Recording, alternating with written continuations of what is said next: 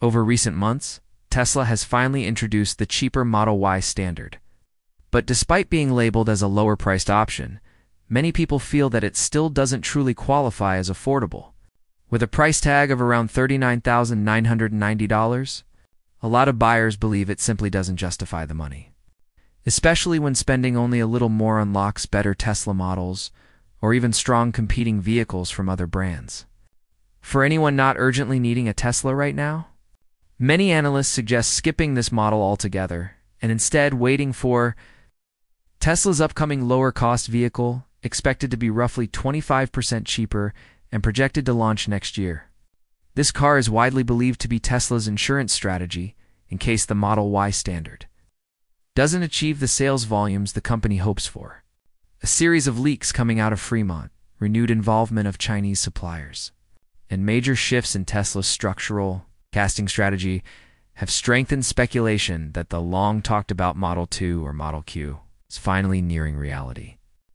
This rumored compact hatchback may be exactly what Tesla's lineup has been missing, potentially arriving around the $30,000 mark. If the circulating leaks prove reliable, it could become one of the most competitive EVs globally in both the United States and China. While it may not match the Model 3 or Model Y in refinement or luxury, it could easily become Tesla's most transformative mass market product yet.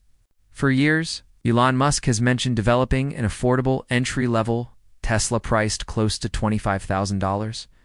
But as with earlier ambitious Tesla promises like the Cybertruck's original expectations, many people were left disappointed when the results didn't fully align with early hype. The Cybertruck launched far more expensive than originally implied, and the Model Y standard has fallen into a similar trap. Too reduced in features, yet still not priced low enough. Unsurprisingly, it hasn't generated the excitement Tesla hoped for. As buyers can spend slightly more and access higher tier Tesla models or even cross shop competing. EVs such as the Chevrolet Equinox EV or Toyota BZ models, which in some respects even offer stronger perceived value and refinement. Many Tesla supporters, despite their admiration for the company, were never particularly convinced by the Model Y standard because the compromises felt too significant for the asking price. Had Tesla priced it around $35,000, the reaction might have been different. But this model clearly isn't the company's final attempt at making an affordable EV. Tesla continues to refine manufacturing efficiency and implement new innovations to reduce costs, which is why the likelihood of a far cheaper Tesla arriving soon feels increasingly realistic. Internal reports suggest that the new, compact Tesla will likely be produced in the United States at the Fremont factory and is targeted for a debut around mid 2026. With Elon Musk reportedly demanding that the design, specifications, and engineering framework be fully locked in ahead of launch. Musk himself has hinted that this could be among the most memorable Tesla reveals ever. Although he refuses to publicly confirm details until the official announcement, interestingly, Ever since rumors surfaced, the Tesla community has split sharply between skepticism and enthusiasm. Some argue that in order to hit a $30,000 price point, the car would inevitably feel cheap, underfeatured, and disappointing. Others believe it finally opens the Tesla experience to millions of new customers who've admired the brand for years but couldn't justify the higher cost of existing models. Even if that means accepting a few compromises. Although still unofficial, early leaks from Giga Texas, and information from Chinese. Component suppliers strongly suggest Tesla has already begun active preparation. Supplier documentation claims that Tesla has requested parts for an all-new compact hatchback, reinforcing speculation that the Model 2 or Model Q will be distinctly smaller than the Model 3 and Model Y.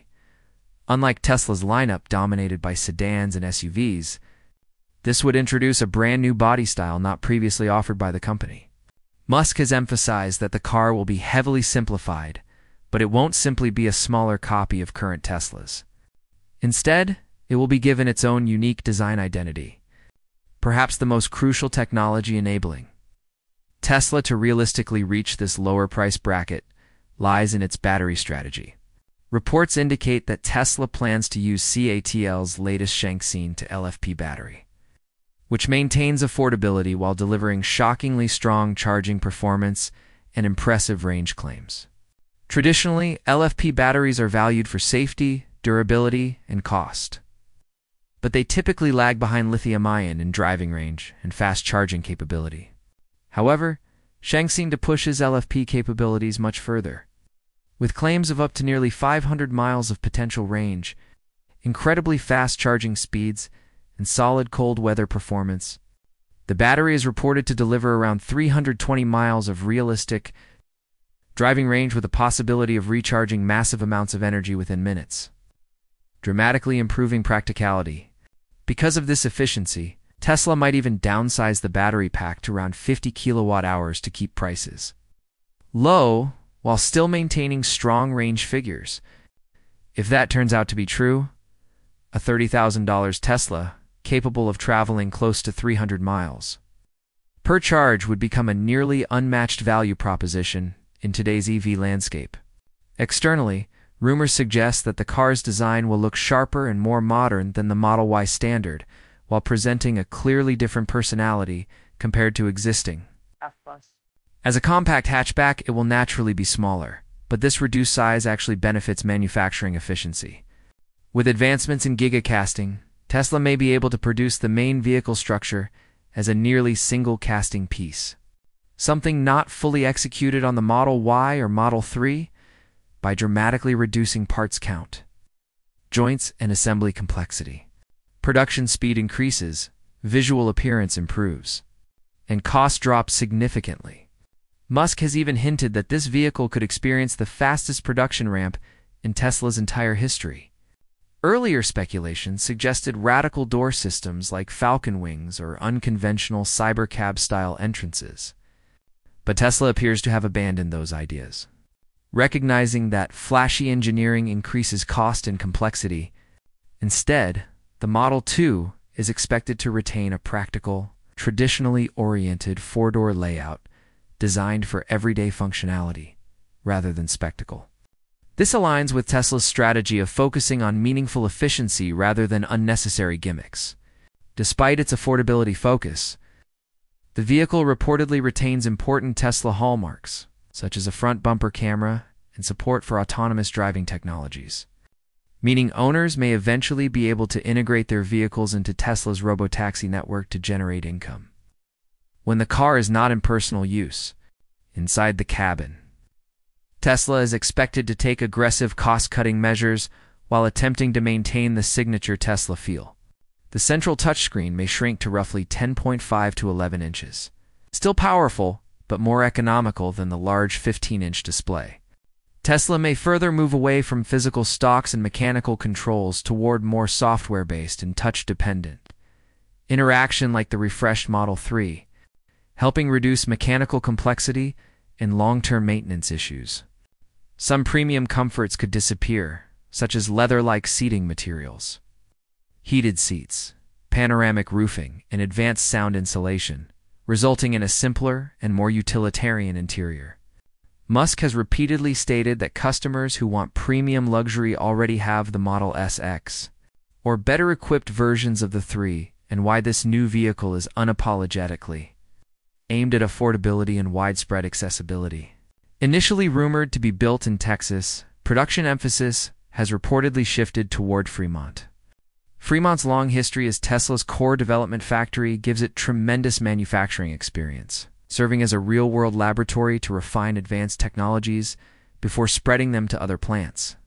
It is also geographically strategic, positioned close to Tesla's AI and autopilot engineering teams, enabling faster development cycles. Troubleshooting and system integration. Producing the Model 2 in the United States also strengthens Tesla's eligibility for manufacturing incentives and helps present it as an accessible, domestically produced EV although Fremont has higher labor expenses. Tesla compensates through mature production expertise, efficiency, and reduced defect rates.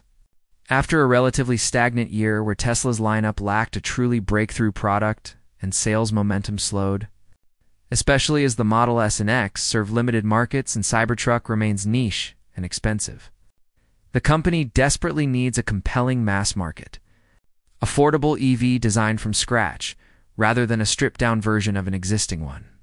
The Model Y standard proved that simply removing features without significantly dropping price only frustrates buyers rather than exciting them. Many customers viewed it as neither premium nor affordable enough to justify its existence. Meanwhile, global competition, particularly from Chinese EV manufacturers and hybrid alternatives, continues intensifying. The market is signaling loud and clear that what consumers now want is a genuinely new Tesla engineered for value, efficiency, modern performance, and accessibility. This is exactly where the Model 2 is expected to step in. If the leaks align with reality, Tesla may finally deliver a truly affordable, competitive next generation electric car capable of reshaping the EV segment much like the Model 3 once did.